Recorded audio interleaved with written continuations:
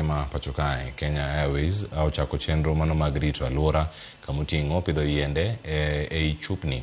Tego kar loso modhi mago mag diesel kaachiel koda ka ot mano mar uh, Msafiri mano mantie kanyo mano yawo ayanga kod jakom ka KAA kata Kenya Airports Authority Caleb Kositany kod jatatije mar KQ Alan Kilavuka.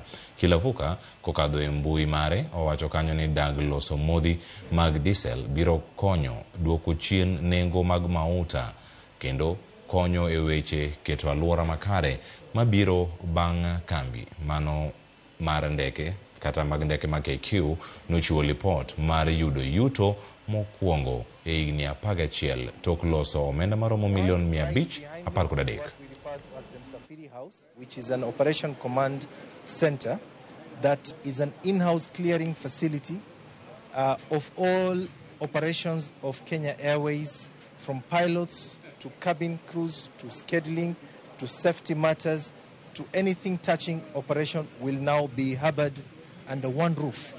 This will increase efficiency to ensure that you know uh, all teams work more efficiently together Uh, as for the water bottling and purification plant, uh, again, there we are very, very proud. We will again reduce our cost substantially. In fact, our estimate is that we will uh, uh, reduce our cost by uh, at least 60% of our current cost for, for the water.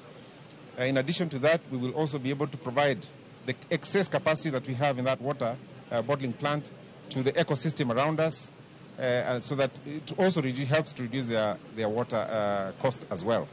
And then lastly, uh, the one behind us here, which is the Musafiri House, is going to, just like the PS has said again, is going to